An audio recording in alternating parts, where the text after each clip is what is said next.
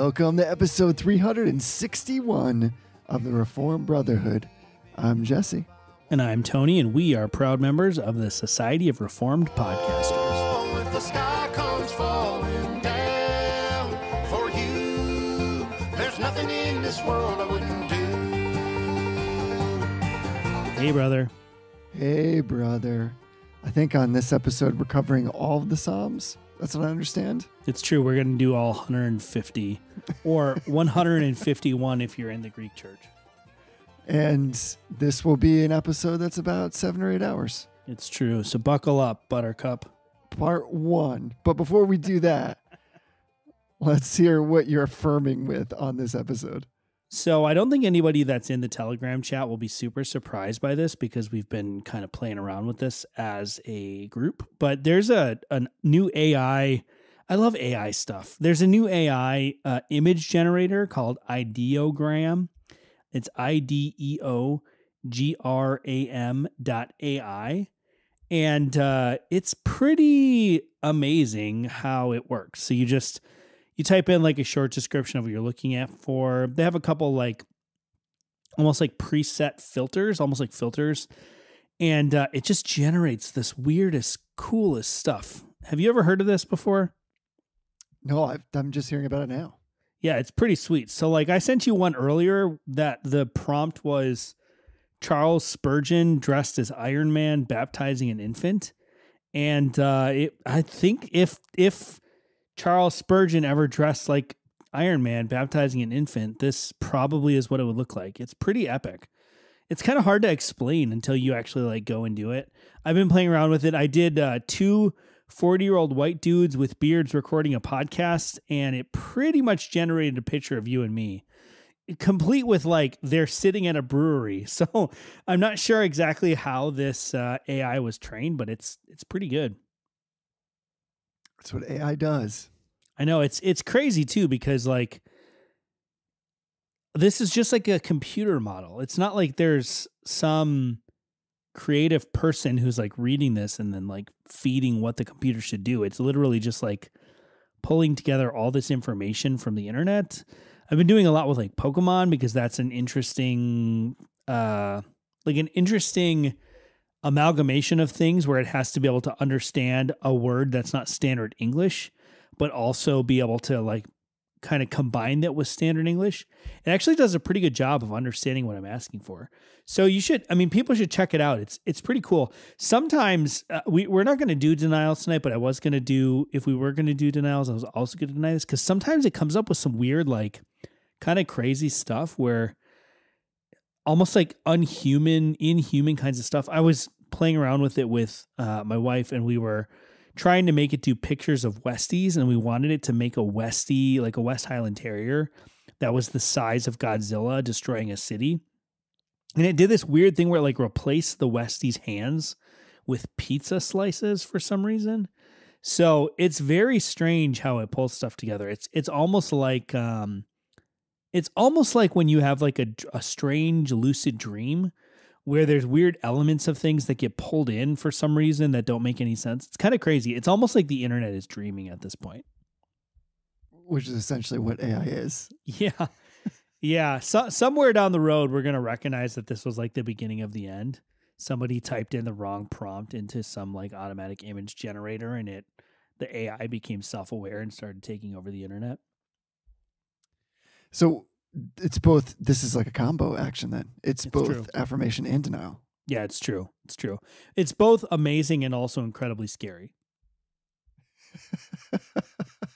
Which is pretty much the internet, right? It's true. It's true. But seriously, like I'll I'll have to send you this picture offline. This this picture of two 40-year-old white dudes recording a podcast. It both looks really amazingly real, but then also when you look too closely at it, the dude's face is like really messed up. And also the guy's headphones are like part of his face. So there's certain things the AI does really well and certain things it does really poorly. Like it's not quite sure what to do with hands.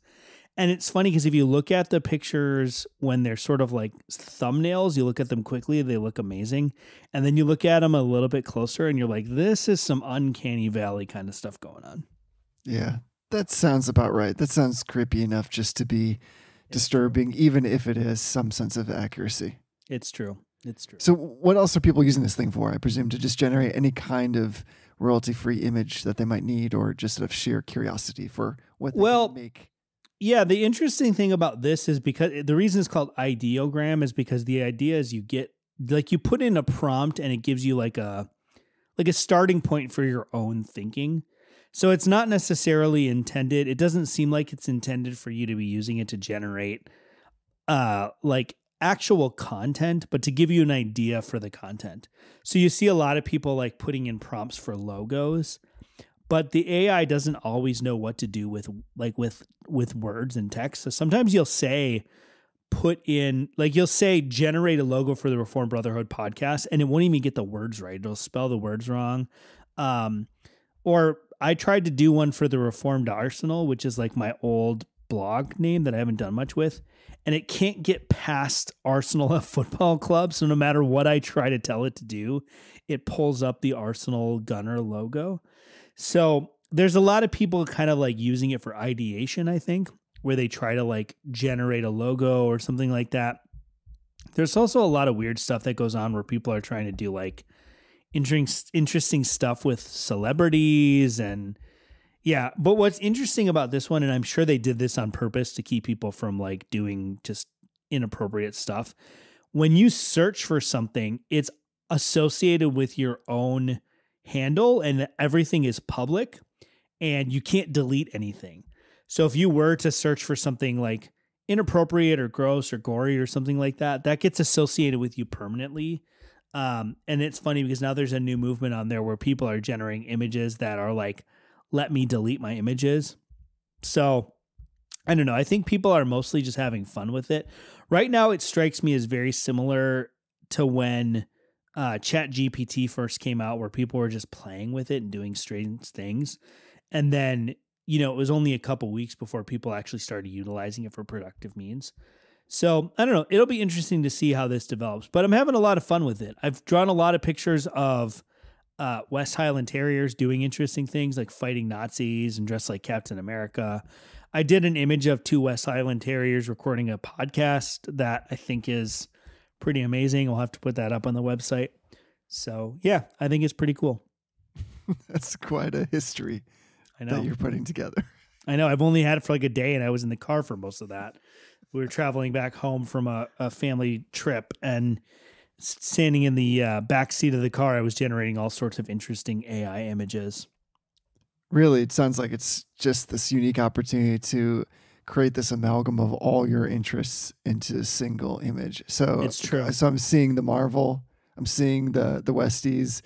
The Nazi thing is just a Captain America. Yeah, I think that's pretty much what it was. uh, there's a really sweet picture it made of a zombie Pikachu. I gotta admit that the thing is pretty awesome. Uh, this picture it generated of a zombie Pikachu is pretty awesome. I'll have to put that up on the website. I mean, it's just it's just interesting, cool technology that it's creating. Um, I did some stuff uh, of like I did like uh, create a young Presbyterian minister with a goatee, goatee, and it it created some pretty cool stuff. So check it out. It's ideogram, I D E O G R A M dot AI. You do have to register an account, and everything you generate is public, which is I think good for kind of like public accountability reasons. But yeah, I got a pretty cool picture of a Pikachu dressed like Captain America too, that I think is pretty sweet. also, Seems a, like there's some a- common threads. a Pikachu fighting Darth Maul was pretty cool too. I'll have to send you that one because I know you're a Star Wars fan. My word, that's uh, there's a common thread here. Yeah, yeah, I like I like Pokemon, and nobody that's not a secret. Well, great. I feel like that'll give people something to do even while they're listening to us. Go ahead and Yes. generate a bunch of random images. Have some fun. It's true. What's really interesting is if you put like entire Bible chapters or entire Bible verses or catechism questions, it does come up sometimes with like some interesting abstract interpretations of what these questions mean. Uh, full full disclaimer warning: this AI has no qualms about the second commandment, so be ready that it may present you with some images that are not uh, reformed theology compliant as far as images of of what the internet, what this the AI internet thinks Jesus might have looked like. Um, so just be cautious with that. But there's some cool stuff that you can generate like this. Like I generated a picture of the entire psalm that we're going to be talking about today, and it came up with some cool images that are kind of evocative and sort of, I don't know, they sort of like are grounds to think a little bit about what's going on. Well, I think that's as good a place as any to start. Let's talk about this this picture. Yeah. Well, like uh, you know, so we're talking about Psalm 1 today, which probably you figured out from the title of the episode. But like one image was kind of like a picture of a water waterfall with like lots of lush greenery and plants around it, which, you know, kind of talking about like a tree next to still waters. There's also a picture of a tree kind of in a desert, but it's vibrant and it's thriving. So I don't know, it's it's just an interesting I don't know. It, it's funny because I was talking to someone we were visiting some family friends this weekend and one of the people that we visited is just a dear saint and she's just absolutely delightful and she was asking me what i think about ai and and i i calling these things artificial intelligence is almost almost not even accurate so like when you talk about chat gpt or notion ai it's it's a language model so what it's really doing this is super simplified but what it's doing is it's saying all right if these these 15 words appear in this order in all of the different texts I've been trained on, what's the most likely thing, the net most likely next word to be? That's in a really simplified form what a, a language model is doing. I'm not exactly sure how these image models are working, but it's got to be something similar. So to call them artificial intelligence isn't even super accurate. There's no thinking going on. There's no like independent thought. These aren't generating creative things. It's just synthesizing different images and ideas that it's um, come up with. It's part of the reason why it has problems with like generating facial features and hands and things like that because you can't really describe like describe a hand like you can't really do that so it's it's interesting how this stuff is working but a lot of people freak out about it and and i think it does come up with some interesting kind of evocative thoughts when you put in a bible chapter because it's it's taking these words that are classic historical ordered words and then it's trying to associate them with images, but it's not always associating them in ways that we would associate them. So yeah, I mean, I think that's a kind of a fun experiment to do is toss in a whole Bible chapter. Um, I put in Genesis one just to sort of like a fun experiment, and it came up with lots of like celestial kind of imaging, like stars. There was one that was like a a man standing looking up at the kind of like at the stars that I thought was an interesting interpretation of Genesis 1. Lots of like sunbeams and, you know, landscape scenery and stuff. But yeah, I don't know. I think it's pretty cool. I love all this AI stuff. I know some people are freaked out by it, but I think it's pretty sweet. Yeah, I for one welcome our AI overlords. well, let's talk then about Psalm 1. That's a good setup I think for some of the imagery and in some ways, no, what, what we need really is a puritanical AI where everything that you put in, every query that you make just resynthesizes that in the Puritan frame. But some of what you talked about is very puritanical. Of course, looking at the Psalms, but the scriptures generally, really sitting into every single word and thinking about well, what tree could it be? Not from the standpoint of trying to discern what tree was intended, but merely trying to understand the characteristics of trees and therefore how that informs in a very direct way what's being said to the scriptures and how we might meditate on it. What is it that trees like to do? What constitutes a healthy tree? What makes a tree evergreen and like you said, different climates, all that stuff, different environments. So that's there's something about that. I think that that's kind of a cool thing. And we're really coming to the tail end of spending all this time looking at the Lord's Prayer. And then now we're into this section of having gone through the Lord's Prayer this summer, and you can go back to the back catalog and check all those lovely episodes out. We're trying to understand where and how and in every way we see that same instruction that the, our Lord gives to his disciples throughout the scriptures. And we're well, I want to talk about the Psalms at least. I'm kind of cheating a bit here because, of course, like the Psalms are known as really the prayer book of the Bible. And it almost seemed like we couldn't leave this without at least looking at one Psalm.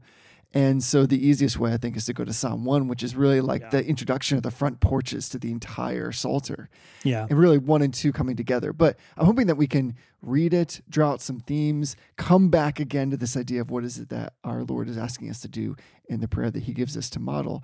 And then beyond that, again, just to note and to think about the fact that Jesus, as as a Jew, as a man who was learned in the scriptures, who learned obedience and studied the scriptures, that so much of his teaching, so much of the quotation of his own prayer life obviously happened in the Psalms. Yeah. It was rooted and centered in the Psalter itself. And of course, even in his crucifixion, his moments of agony, he, there he is quoting from the Psalms. Yeah. So there's a lot there for us. There's a lot that's for it's just this lovely cohesiveness. So let me read Psalm one, and I think we'll hear some of the AI coming out, so to speak, in the imagery that you've already talked about. But it's worth noting that this would be a great kind of thing to have something like that generate on because there's so much, just rich with so much imagery. So this is Psalm one. How blessed is the man who does not walk in the counsel of the wicked, nor stand in the path of sinners, nor sit in the seat of scoffers. But his delight is in the law of the Lord, and in his law he meditates day and night. He will be like a tree firmly planted by streams of water, which yield its fruit in its season, and its leaf does not wither. In whatever he does, he prospers. The wicked are not so, but they are like chaff which the wind drives away. Therefore, the wicked will not stand in the judgment, nor sinners in the assembly of the righteous. For the Lord knows the way of the righteous, but the way of the wicked will perish. I want to make a kind of a bold claim, which I, it's not that bold, but let me try to like maybe possibly trigger people. But I'm going to kind of Jesus juke everybody when I do this. So, one of the things that I always think about when I read this psalm, and when I think of it now in light of the Lord's Prayer, the high priestly prayer and the prayer that Jesus gives to his disciples and to us to pray, is that I've often wondered, well, who is this man? You know, like it's, oh, Yeah. oh, happy, oh, amazing is this man who wa- does not walk in the counsel of the wicked.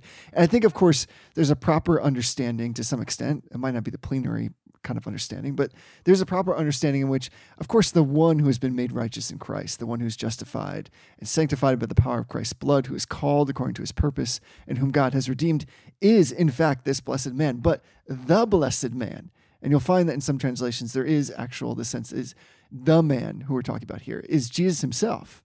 So this is almost a prayer. I'm seeing this right from the top as this great expression of God's glory and the worship that is due him because the only reason there can be men, like lowercase men, these blessed men and women, is because there is the blessed man who Yeah. doesn't walk in the counsel of the wicked and who is the one that actually delights in the law of the Lord and he meditates on that day and night in perfection. And we, to a lesser extent, only follow in that. So for me, again, this starts with like this idea of glory. All of prayer is in some way at its root expressing firstly the glory of God. So that's where I start. I, I know that that's not like truly controversial, but to me, this is this psalm is way more about Jesus than it is about us, even as mm, righteous men and women who have been saved by Him.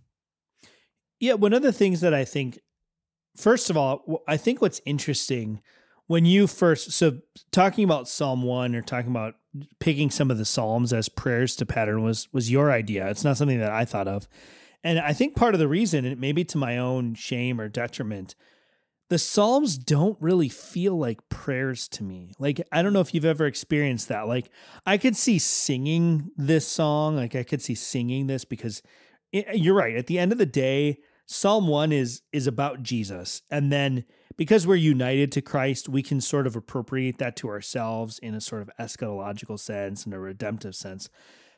But it doesn't feel like a prayer or a psalm that I could pray.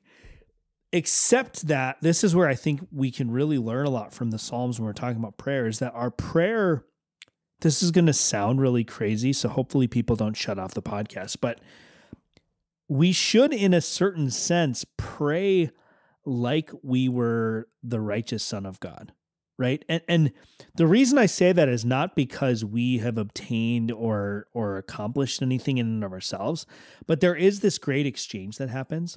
So when we see something like Psalm one, or really Psalm one and Psalm two are a unit, they kind of come together. They're they're in some of the manuscripts actually they're a single psalm that that are are seen as as one. Um, we really do see Jesus front and center, right? The, the blessed man is Christ. But because we are in that blessed man, because we're in Christ, and because Christ has given us everything that is his in taking on what is ours, the, the great exchange between the first or between the second Adam and all of his progeny, we can pray this psalm, we can sing this psalm, we can think through this psalm as though we are the blessed man. And I think that's part of what makes the psalms so almost counterintuitive from a prayer sense. Like I I think a lot um, about how we could sing the psalms. Like I could sing Psalm 1 as a like a praise song to Jesus. Like I could, as a praise psalm to Jesus where I'm praising God because he's because Jesus is blessed. He's the one who meditates on God's law day and night. He's the one who's a tree planted by streams of water. He's the one that the Lord knows his way. And I'm the one who is wicked, who doesn't stand in the congregation of the righteous except for what Christ has done for me. That's all true and good enough as far as it goes, but there's also this element that because of what Christ has given us, I can now pray this psalm in the first person right? I'm given the blessedness. I'm in Christ, I'm the blessed man who does not walk in the way of the wicked. I'm the blessed man who is like a tree planted by streams of water. So I think that's, you know, if we're looking at different biblical prayers as a way to sort of pattern our prayers, the Psalms as a whole and Psalm 1 kind of of a microcosm of that really does help us to understand, I think, how it is that we are the righteous sons of God in Christ. Um, and and that's part of why I think these are hard to get our heads around. Like I wouldn't normally go to the Psalms thinking about them as a source of like prayer examples. They just don't seem structured the way I've been taught to pray, the way that I naturally would pray. So I'm glad that we're kind of looking through these because I think it's a little bit outside of our normal wheelhouse, and I think that's always good to do. And there's a really probably slight thin line between this division of like outright prayer and singing. Right. So much of those go together. They're meant to go together.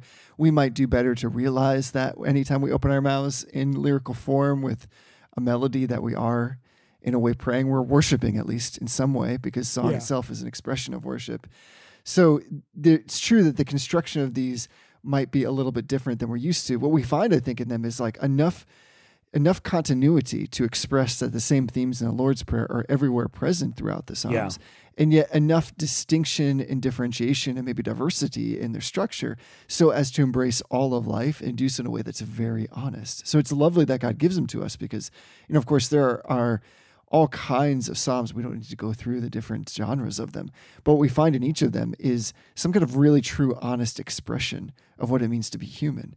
Yeah. And then for Jesus to take those on his lips as well and to embrace our humanity in those expressions to make that part and parcel and piecemeal of all of the worship that he himself is doing when he's walking this earth is remarkable. Yeah. So I, the themes are there. It's really strong. It's almost like it's just an, an extension. It almost, I would say, sometimes we have this tendency when it comes to the Lord's Prayer, the High Priesthood Prayer, like we over formalize those. I don't mean that necessarily in a pejorative sense, just Yeah. only to say that they become very structured, very rigid, but for good purpose. We're trying to model them exceptionally well. We're trying to be formal and very reverent in our language. And then we come to the Psalms, and as so many have said before, could your public prayers on the Lord's Day, could somebody get away with saying half the things that are in the Psalms, at least without people like, you know, raising an eyebrow? Yeah.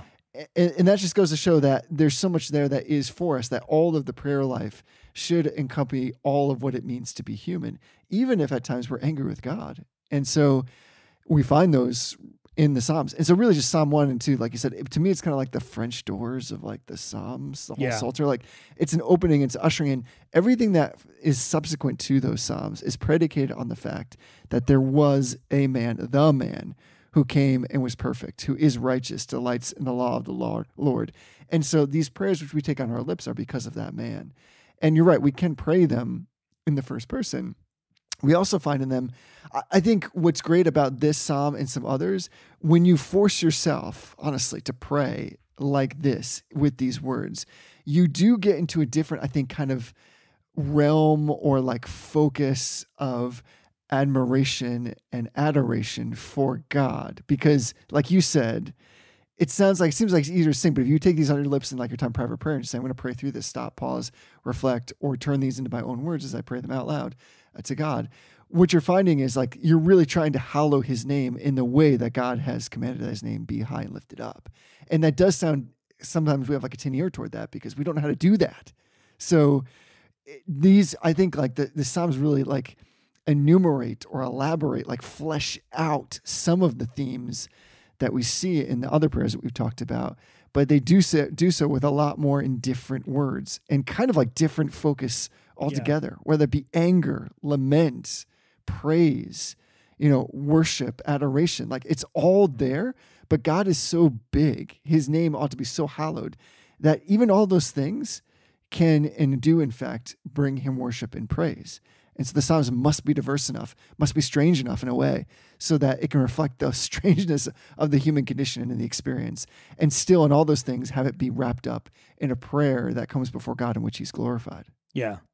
Yeah. And I think, you know, the fact that the Psalms feel a little bit um, alien to us, first and foremost, I think that's just because in our sort of evangelical subculture and and just the context that most of us have come up through and, and in we're not used to praying and singing the psalms so there's certainly an element of that but there's also an element that like these are divine songs and prayers that are patterned after God's thoughts and not the thoughts of man. Right. And and all prayer whether it's um, extemporaneous or whether it's like written out prayer, it's all still coming out of the the hearts of man, and there's nothing wrong with that, right? We we should pray extemporaneously, publicly. We should be praying from our own thoughts and our own words in our private prayers. But there's something about the Psalms that feels alien to us because it is alien to us. And I think that's part of why it's so important to spend time thinking through and praying through the Psalms. So, like, Psalm 1 is one of the first Psalms that I memorized. Um, you know, I've memorized a few different Psalms, and I think a lot of people have memorized either part or all of Psalm 23 just because it's such a classic text. But the rest of the Psalms, they they feel very different. And I, I think that's part of maybe part of why God has put them in the Bible is because it it sort of gives us a glimpse into um, how God would structure our prayers. And, and we don't have to guess at that. We don't have to just Right. go based on principles, which is fine. God does give us principles. Obviously, we, we've spent, and we're on like episode 15 now of this private prayer series, you know, sort of structure on the Lord's Prayer. Obviously, God gives us some principles by which to structure our prayers, but He also gives us straight out prayers to pray in the form of the Psalms. And they're not really in the structure and the format that we would naturally think to pray. And that's why it's so important to spend time in the Psalms because it really does structure and reorient our, our prayers. Right? What is that famous book, like The Trellis and the Vine? That that's like a total a totally apt analogy for how the Psalms can function in um, our prayer life and in our praise, kind of our musical singing praise life, is that a, a vine will grow following the trellis, following whatever structure you put it on. And that's where you see some of these like really elaborate um, trellises that will shape the vine into these really beautiful, sort of almost architectural designs. Well, the Psalms function in the same way. If you really get the Psalms like into your heart and into your mind, it will change the way that you think about prayer. Because I've actually heard people say things like there are certain psalms that are no longer appropriate for Christians to pray, like the imprecatory psalms. And that's almost that's I, I won't say it's blasphemous because I think these the people who say stuff like that have really good intentions. But to think that God gave us a hymn book and a prayer book in the Old Testament and then and then said like well certain ones are just off limits because it doesn't fit the New Testament church. I was reading um I think it was Psalm 109 today and some of it is like really shocking language. And we're talking about Psalm 1 specifically, but Psalm 1 as a way to sort of intro into and sort of discuss the whole Psalter our prayer life does not typically reflect the structures that we see in the Psalms. And I think you can kind of approach that one of two ways. You can look at that and be like, well, we've kind of like grown past that, or it's for an antiquated age. Or we can recognize that God's God's prayer book, God's hymn book is something that is given to us. It's profitable for us. It's it's useful for our teaching and our correction. And that has to also mean it's useful for our correction in terms of the way that we think about prayer and the way we actually pray. I think that's right on. I mean, I I'm with you. I think that's kind of like the Psalms, or some of them at least, are in a bear market, and we think of them as great as songs of worship. But maybe in our private lives, we find them helpful and devotional as we might read them and kind of metabolize their themes.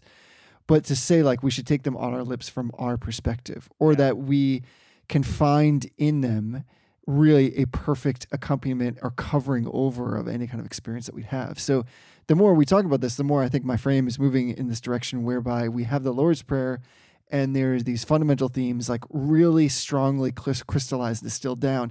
And the Psalms really provide for us like an exemplification of all the details of those themes, including the fact that, like you said, some of those imprecatory Psalms, like Psalm 69, the Psalms in the 100s, that sometimes all you want to cry out, like if you, unless you're not human, but I am, uh, sometimes all you want to cry out is like, God, save me, like help yeah. me. Like, how long are you not listening to the things I'm saying here? That I'm in pain or discomfort or that things seem to be crumbling all around me. And so I think like that's more where our prayers need to be oriented a lot of the time because while we're praying things like your kingdom come, your will be done, there might be part of us that's saying, I don't really like what's going on right now. Yeah. And what I want for your kingdom to come is to like be gone with all this injustice or to heal my loved ones. Why are you not listening to me? It seems like these are the kind of things that you would love to intercede and to do for your glory. And, and I'll worship you in those. And still, our prayers seem like they're falling flat. And so to have somebody come alongside and basically give you permission, like divine permission to say, pray that thing.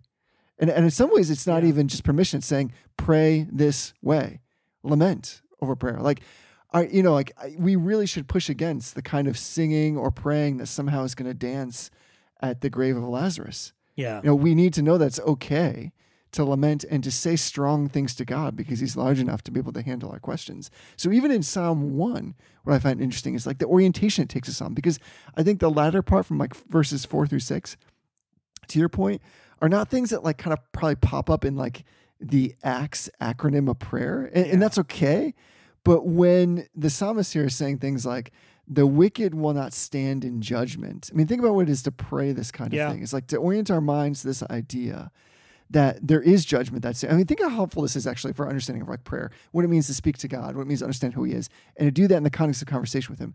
We're saying, listen, there's a judge. It is you, God. You're near. The judge stands at the door. The dead shall be judged out of the things that are written in the books according to their works. They cannot flee this dread tribunal. There's no escape. There's no mask that can hide their guilt. All our sins are recorded. No blood blots out the stains of those who reject the Savior, who reject Christ, yeah. Who have no interest in the saving cross. And what we're basically saying is, God, you are glorified. Your name is hallowed in your perfect and righteous judgment when you come against those who are your enemies. And again, to your point, like really, prayer does so much more in changing us than of course it does in trying to influence God. While yet at the same time, of course, he receives our prayers lovingly and desires for us to communicate with him. But this is a way of, in many ways, a prayer is in some way rehearsing all of the scriptures in conversation with God. Yeah. And rehearsing the scriptures in a way in which, if the scriptures tell us the truth about reality and actually describe the human condition with complete perfection and are sensitive to it and provide a remedy for our sin, then really our prayers should be more robust than just simple phrases because really they must have emotion. And I think sometimes if you're like me and it can be difficult to express that, the Psalms force us into that. And sometimes you'll pick up a Psalm like you're saying and be like, my word, there is really strong language here. Like yeah. almost the kind of thing that you're like, how is this in the scriptures? It's being prayed to God. And, uh, you know, of course, something like the Trinity Psalter has has written you know a, a, song for each of those things and some yeah. of those are very, very interesting like i think even with those there would be congregations that would deign to sing those on the lord's day yeah. and yet they have a place but that place is because like we are people and we have a god who loves us and we need a god who is strong and mighty and like diagnoses and leans in close to the human condition and is well acquainted with suffering and so I, I, think you're right. Like the Psalms, we need them because we need them because they orient us toward the life of prayer that is authentic and real. And when, if you do this exercise, which I think is good, I'm trying to do this myself, is just go through the Psalms each day And rather than just simply reading them, there's nothing wrong with that, of course, or simply studying them, and that also is profitable, trying to actually pray them Yeah. and to pray them in a way where you relate them to what's going on in your life. One, I've found, and I don't think this should surprise anybody, that no matter what that psalm is, no matter what day it appears on, there is something intensely resonating that I never saw coming. And the second thing is that it's helped me to understand what it means to really bare my heart before God in a way that's unreserved. If only I'm forced into that position, because I wouldn't normally put myself there. But the psalm is helping me to think in those ways. In in some ways, it's like a lesser version of like the a diagram. You know what I mean? Like it's Yeah. giving you the proper idea and way to think about praying when we might be content with maybe prayers that aren't particularly deep, even if we're trying to model them off the Lord's Prayer. Like the Lord's Prayer is like the introduction, it starts us off, but the Psalms in flesh so much more of all those themes in a very like pragmatic way. Yeah, and I think too one of the things that I found really helpful with the Psalms and, and this ties into what I was saying earlier about kind of like the Psalms being a structure for us to to emulate, but also it's a structure that we grow into. You know, I was thinking about like someone as I was kind of mentally preparing for this episode. We don't do any actual preparation preparation for these episodes, but as I was thinking through this, we don't often pray in a way that recognizes God's judgment over the wicked. Right. And- exactly. That is one of those elements of theology. You know, when we're done with this prayer series here, we're going to we're going to move into some discussion about eschatology and we're not going to we're going to not get bogged down in like pre-mill versus post-mill. That that's not really we've done episodes on that. We don't need to redo those. But one of the things about judgment that I think a lot of modern Christians miss is the judgment of the wicked is a source of comfort for the righteous. Exactly. And that's that's a constant refrain in the Psalms is that the psalmist, whether it's David or or a psalm that is not attributed or a psalm that's attributed to somebody else, there's this constant refrain in the Psalms that the judgment will be righteous judgment. And that those who are enemies of God and therefore enemies of God's people will, in a certain sense, get what is coming to them. You know, I, I over the summer when your your dad, who's my pastor, was out on medical leave and I filled the pulpit with him, I was just amazed in the book of James how frequently that theme comes back. That that God will give justice to those who are his. And that means that those who are oppressing those who are his will get the judgment that is coming to them. And there's a source of comfort that comes with that. And I think, you know, there's a certain evangelical niceness and a sort of evangelical, um, I don't know, this is going to sound really weird, but there's almost like a hope that a lot of modern evangelicals have that like nobody's actually going to get punished for their sin. No, nobody's actually going to go to hell. Nobody's actually going to face God's judgment. That that would be great. I mean, I think there's a certain element of like we all wish that universalism was true that somehow God had worked it out that all people would be saved. But it's also to God's glory that he's going to judge the wicked. And that's not something we often are comfortable or familiar with praying. But it's also the kind of thing where when we face um, kind of like persecution with a capital P, which most of us who are recording or listening to this podcast never have actually faced and probably never will in our lifetimes. Um, but when people face persecution of any kind, but especially real serious persecution, the fact that those who are are oppressing and persecuting God's people will get what's coming to them in the grand eschatological sense, that actually is a source of comfort. And 1 gives us not only warrant, but I would say a command to pray that to that effect. Right? We can come to the Lord and say, Lord, you are good and you're glorious, and you will reward those whom you have chosen and whom you have made righteous. But you will also you will also condemn and judge those who are your enemies who persist in their sin, right? The wicked will not stand in the judgment. That is a statement that is intended to give hope to those who are who belong to the Lord, right? And the, as the sort of introduction to the Psalms, right? Psalm 1 and Psalm 2 serve as kind of an introduction to the Psalter as a whole. And as an introduction to the psalm, this is this is something that sets the tone for all of the lament songs.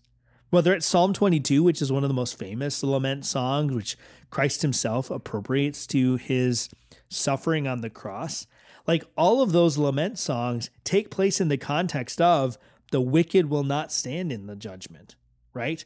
The the sinner will not stand in the congregation of the righteous that is a source of hope that I don't think we're used to praying and to praising God for. I know I'm not. Like when I face some sort of um, moral evil at the hands of someone who is an enemy of God, which doesn't happen often, but it's not unheard of for me to to have to sort of like stand in the face of something that is really just coming my way because the person hates God and I'm I'm a Christian that that happens. I'm not used to praying and thanking God that the wicked will not stand in the judgment. And and I think that's because we sort of have this perspective of like, well, we should be evangelizing everybody, which we should. We definitely should be praying for the salvation of even those who are wicked and who harm us. We should be praying for our enemies. But there's also comfort that comes in recognizing that those who persist in that sinful state of being God's enemies will ultimately get the judgment that is coming to them. Yeah, and sometimes there's a sense like we feel, I think, or maybe I'll just speak for myself. You can feel guilty about that kind of prayer. Yeah. It's kind of sounds like it's coming across as like, "Go get him, God, go Yeah. get him." Right. And instead, it's more about the fact that think about all of the places in your life where you yourself, your loved ones, or others around the world that you know of have experienced some kind of injustice, where it's just wrongdoing for for no reason, just except that the world is broken and somebody is exerting power or influencing over over somebody else and has literally wronged them. And where is that justice? And sometimes it does not occur here. So the fact that God will write that, so to speak, that there will be the appropriate the appropriate amount of retribution and that God will execute that judgment with like perfection. There will be no mistakes, no mistrials, no bad justice. It's all going to happen in perfect righteousness. And so then it, it leads then from that like verse 5 recognizing like you said the godly are not the ungodly rather not stand in the judgment. Um, and then it goes to this idea of amid all of the trials of those who are righteous, the ones who are justified and fighting every day in sanctification by the power of the Holy Spirit, to live out and practice what it means to be the one who is justified. For them, amid all their trials, their sorrows, pains, their reproaches, let those righteous ones lift up the rejoicing heads. That's Yeah. what this prayer is about. The eye of God rests on their way. He called them to the narrow road. He upholds them with all of our feeble steps. He safely leads us to the glorious end. Unfailing watchfulness surrounds those whom God loves. All of that is happening in this prayer. It's the give us our daily bread. It's the seeing that where God protects and provides, he does so out of great loving kindness. And where he executes judge, judgment and righteousness, he does so out of great loving kindness. The simplicity of God is enfolded all throughout this psalm. And you're right. There's, again, language in here that I think we just have to get comfortable with that God is a righteous God. He is a, a God who is justly filled with wrath. And so, whether it's here or in something like Psalm 90, which is one of the few Psalms written by Moses, where uh, I'm looking up right now, 90 verse 7. So, for we have been consumed by your anger and by your wrath, we have been dismayed. You have placed our iniquities before you, our secret sins in the light of your presence. And then a little bit further down, verse 11 Who understands the power of your anger and your fury according to the fear of the Lord that is due you? And then that famous verse So teach us to number our days, that we may present to you a heart of wisdom. So I think that the Psalms, again, force us into not just all the feels of humanity and all the responses and all the conversations that we ought to have with God, but it does force us to say, like, how often do we, in our time of prayer, do we reflect really on how we ought to be consumed by the anger of God? That God is, in fact, angry, that he is filled with wrath over the injustice in the world, and that he only just for a time withholds that until the full judgment occurs. But even then, that, that judgment has been poured out on Christ for the sake of those whom he has elected, those who he has gathered onto himself.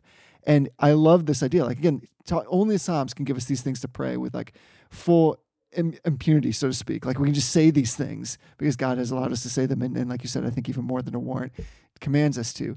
That verse 11, who understands the power of your anger? Like, what a great thing to pray. You know, it's basically saying, I don't even understand your anger. I don't understand its power. I don't understand its course. I don't even understand the, under the magnitude of it because if I really did, I'd be more contrite than I am right now. Yeah. Who, who can understand your fury and the fear that is due you? It's like the most honest thing to pray, which is God, I've read your scriptures. You've been so kind in general and specific revelation to us. And even then, I don't understand you as I ought to. I feel like my mind is so cloudy that my eyes are still so scaled over, that my ears are still incredibly stopped up. And so all I can do is say, Who understands the power of your anger and your fury according to the fear that's due you? This is like the, I think, the best guide for prayer. It takes everything in the Lord's Prayer and says, I really believe this, that the Psalms, the Psalter, is encompasses all of human experience and just puts it in prayer language for us Yeah. so that we can use it. And we ought to use it because we just set it aside and say, like, well, when the time comes, I'll pray the thing I want to pray. I think this gets us automatically in the rhythm. So, one, just like Jesus, when the time comes, when he is suffering on the cross, he knows how to pray. And he notice he's not praying exclusively from like even the high priestly prayer at that moment or from the prayer that he gives his disciples. He's praying from the Psalms. Yeah. But that psalm, that that scarlet thread that runs through the Psalms, is of course the same one that we find in the Lord's Prayer. I just think they're they're underutilized. We we got to get back at that. And the singing is great. Like I'm pro psalmody, of course, pro singing the Psalms. I'm even more pro sing them in your personal life, pray them in your secret prayer closet, pray them together. But when you force yourself to pray through them, I think you're gonna, like you said, you're gonna be praying themes that probably would like automatically just fly by you Yeah. that you either wouldn't embrace, you wouldn't think to embrace, you wouldn't think that you could say to God directly, or again, it's you're experiencing something that you will later benefit from, but in that particular season of life, it's maybe not a particular prayer that is heartfelt, but it is one that you'll find like you'll have a rubric for when that time comes.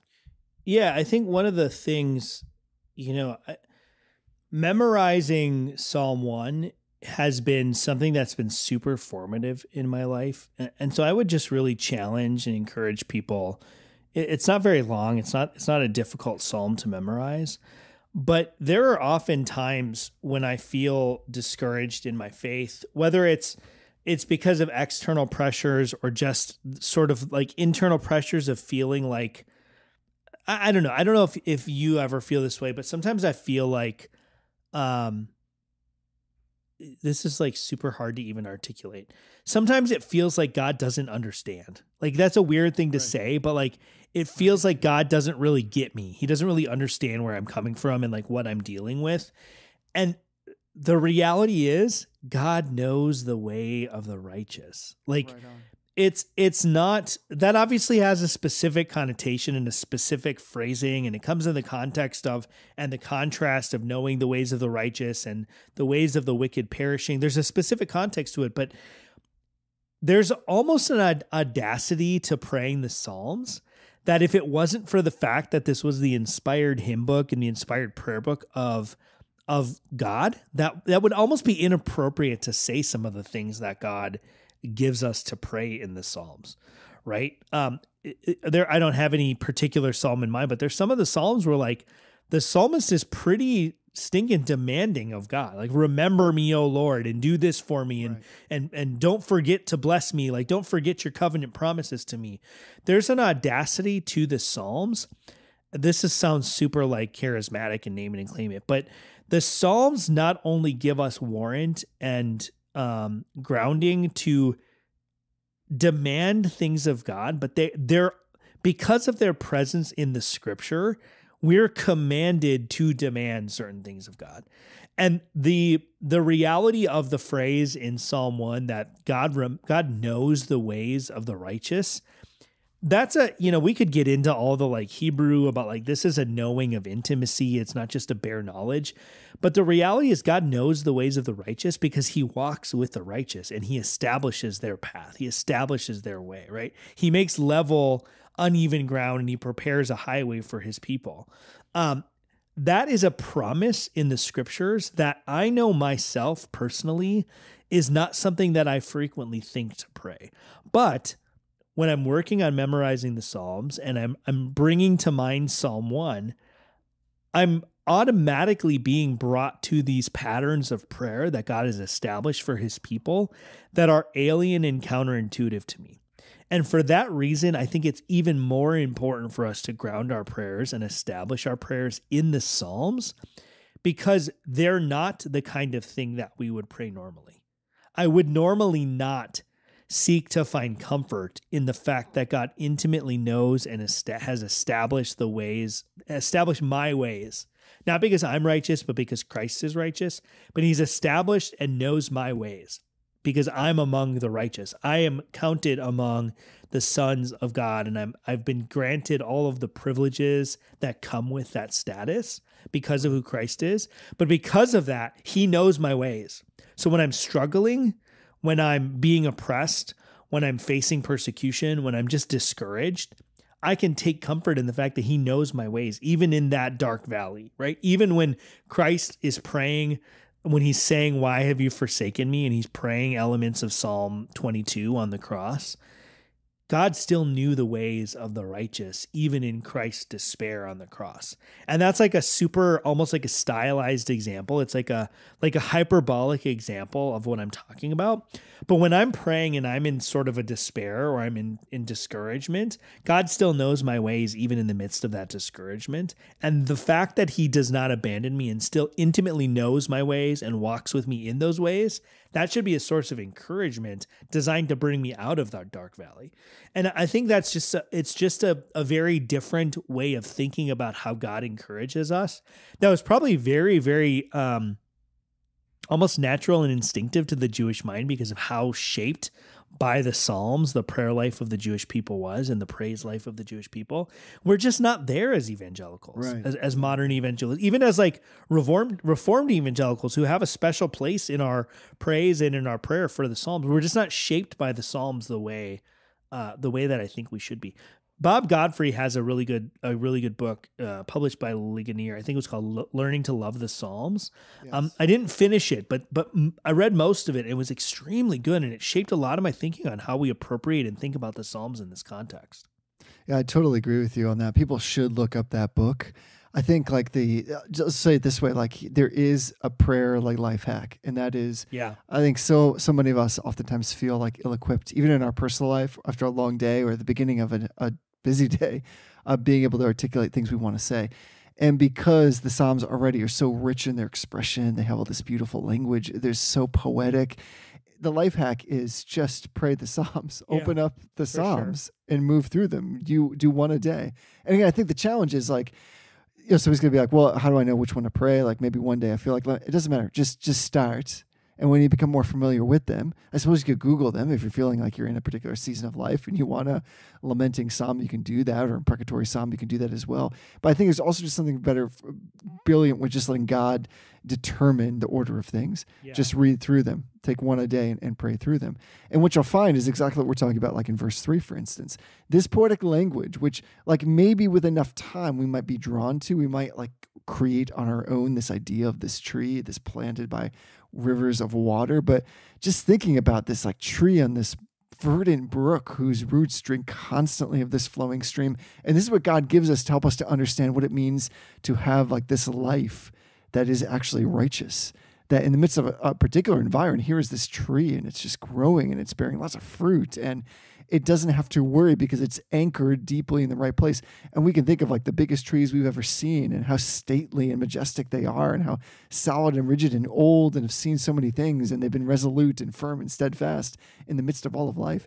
And all of that happens in the course of like a dozen words. yeah, So to think about that and to pray that is just different. I don't, I'm not not naturally drawn to that kind of language, and it's okay and it's lovely because the creativity is really the bane of I'd say good worship music and good praying.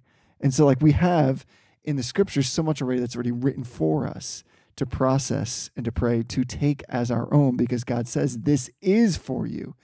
And so you ought to use it. And so all this language, this beautiful stuff, and even the hard stuff, like you said, the there are some like 69, for instance, like when David is praying that like his enemies would be made like childless, like that there'd be orphans, Yeah. like these are hard things. And yet, I think we're made to wrestle with what it means that he's praying those things and to understand what it means that, again, God is righteous and holy, and this holiness comes at a cost. So I'm with you. I think that maybe if we, we, we encourage people to do is one, they should look at that book.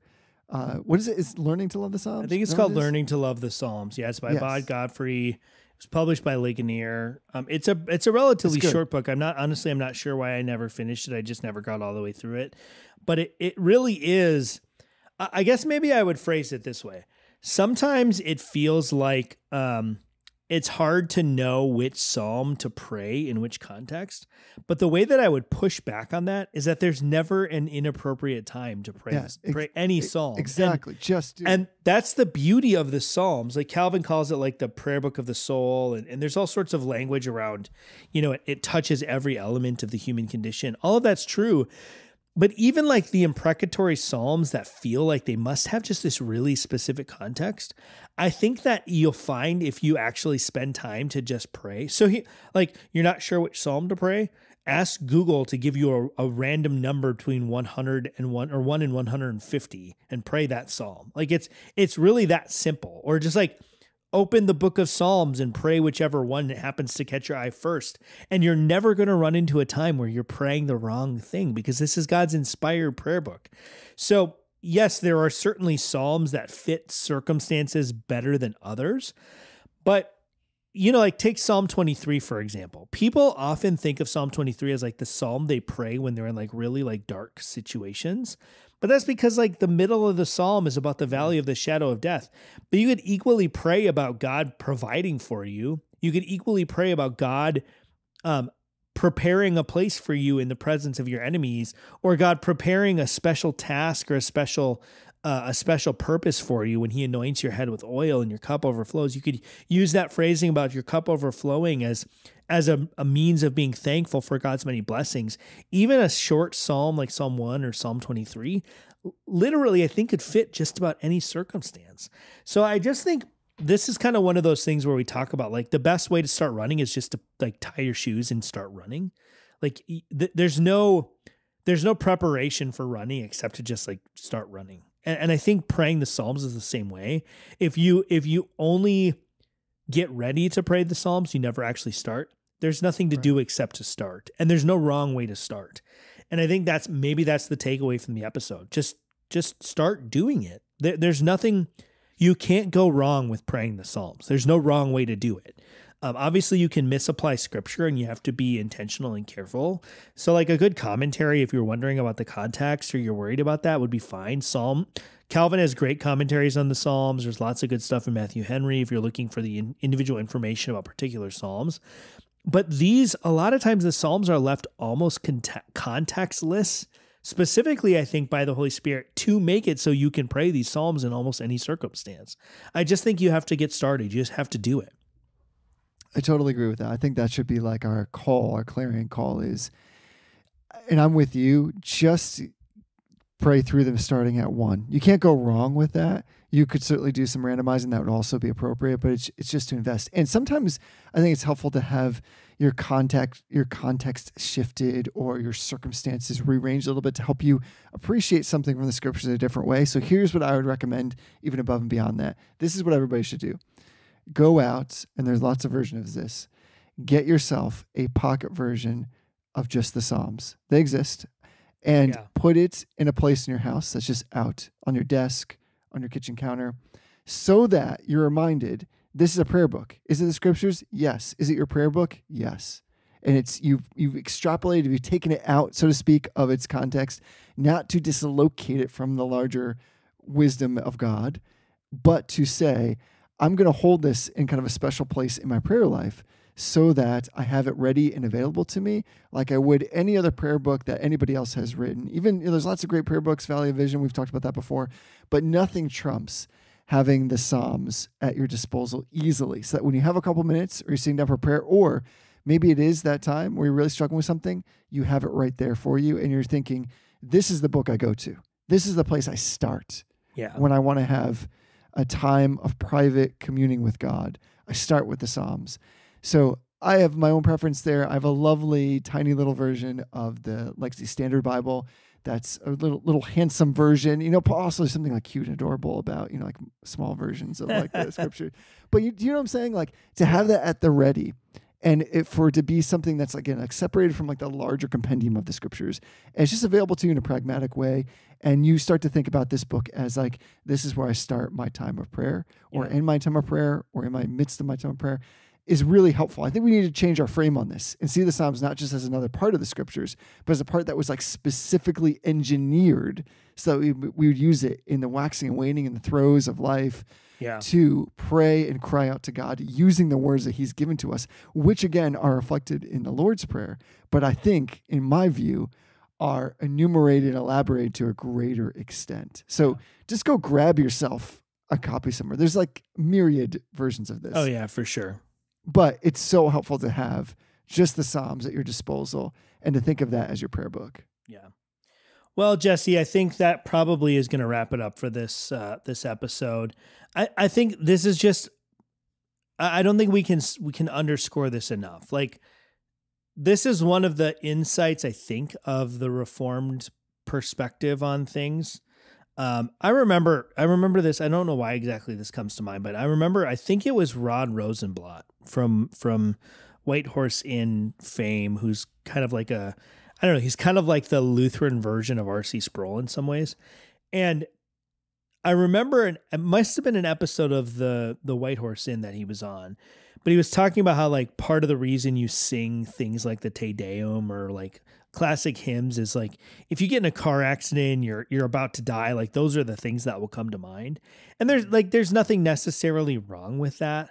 But how much better would it be if the Psalms were the thing that comes to mind? Like in your last dying moments, the Psalms are what is so ingrained into your spirit and your heart and in your brain that when the lights start to go out, Psalm 1 is what comes to mind, right? That the Lord knows the ways of the righteous, or that the Lord is my shepherd, or that the Lord said to my Lord, sit at my right hand. Like all of these different classical statements out of the Psalms.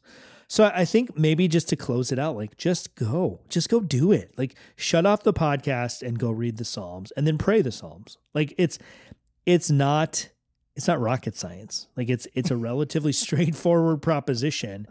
And I, I think we could we could muddy the waters by talking a lot about like strategies and different ways to apply the mm-hmm. Psalms, but we don't need to do any of that. Like God mm-hmm. has given us this prayer book, just go and pray it. Like just if you want to go running, like just put your shoes on and go running. If you want to pray the Psalms, just pick up the Psalter and start praying the Psalms. So I don't I don't want to belabor the point. I don't want to stretch this out more than we have to. Um, but it, it's just it's it's one of those things that's almost so simple that I think we've all missed it. Like it's one of those it's so right in front of our faces. And I, I just think the Reformed tradition really does a good job at it. And that comes in the form of like the Puritan perspective or the Puritan impulse to sing the Psalms, to regulate our lives by scripture, and to to let the the hymn book and the prayer book of the scriptures be the regulation that structures and constrains our own prayers. And I think too, like if you're praying and you couldn't see your prayers finding a place in the Psalter, like if you can't ground what you're praying, obviously like we're not we're not advocating just pray the words of the Psalter. But if your prayers are radically alien to and contradictory to what you see in the Psalms, that's also a source that should give us some pause, I think. Yeah, it's a good way. It's the it's the benchmark, isn't it? It's the paragon. It's something by which we ought to really do compare both in form and, and content. So I'm with you. The theme here is just go and do it. Grab yourself a copy, Yeah. go to your favorite app, and just start doing that. Speaking of going to your favorite app, whatever your podcast app is, we're so grateful, of course, for everybody that downloads and listens and joins in in the Telegram chat and makes sure that all of this happens without charge and there's no paywalls. There is no purple mattress advertisements throughout. There's not going to be any kind of weird jingle that happens in the middle of what we're talking about. And so, for those that continue after satisfying all of the requirements in their tithes and their offerings, there are local churches who say, you know what? I have a little bit left over. I'd like to give to the Reformed Brotherhood to make sure that all those things continue to be available to everybody without any kind of compulsion, free of charge. We are so grateful. And I want to especially thank Brother James, who joined through patreon.com this past week. In giving. And I'm always floored by this. We're reminded that there are people listening from all over the world. And we know that Brother James is not from the US because his lovely gift is made in a currency that's not US dollars. So I'm just reminded that uh, you can give no matter where you are in the world. If you go to patreon.com backslash reform brotherhood, all these little gifts, they come together, they count for a lot and they make sure that all the catalog, everything is out there. So when people are searching all over the world for some kind of random content and they come upon us, they can freely download that episode and listen to you and I talk about it and hopefully be encouraged by that and then have their own conversations. Be, go, go back to the scriptures, be transformed because God is good and he sees the way of the righteous. It's true. Well, Jesse, I've been practicing this all week. So like a ton of a ton of pressure on me. But until next time, honor everyone. Love the brotherhood.